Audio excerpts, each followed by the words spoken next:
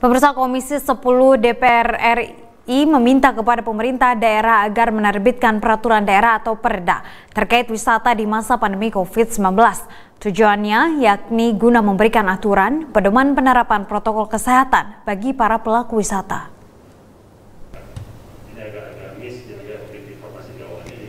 Hal tersebut dikatakan Wakil Ketua Komisi 10 DPR RI Dede Yusuf Macan Effendi saat menjadi pembicara dalam kegiatan BIMTEK penerapan CHSE penyelenggara event serta pelaku pariwisata di kawasan Kopo, Kabupaten Bandung.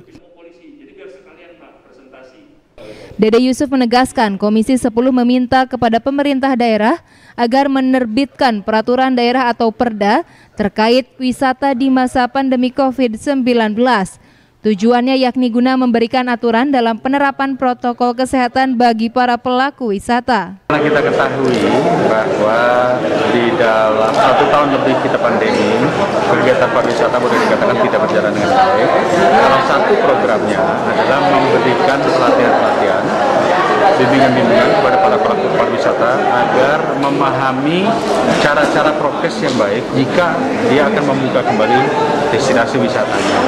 Dan ini harus terus-menerus dilakukan karena dalam uh, pemantauan yang terjadi masih banyak ditemukan pelanggaran-pelanggaran prokes di dalam sektor pariwisataan.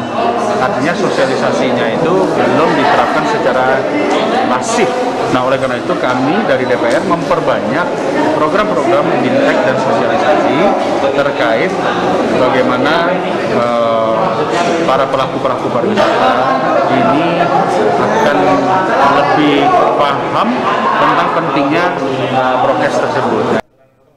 Selain itu, Perda Wisata di masa pandemi pun diharapkan mampu mengatur zonasi wisata sehingga tidak menimbulkan kerumunan wisatawan di lokasi wisata. Rezitia Prasaja, Bandung TV.